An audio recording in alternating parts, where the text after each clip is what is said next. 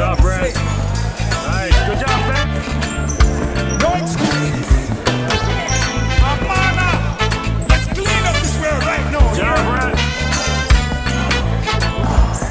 Things are gonna run differently this time. Hear me now. Nice. Yeah. Nice Hey at this pace.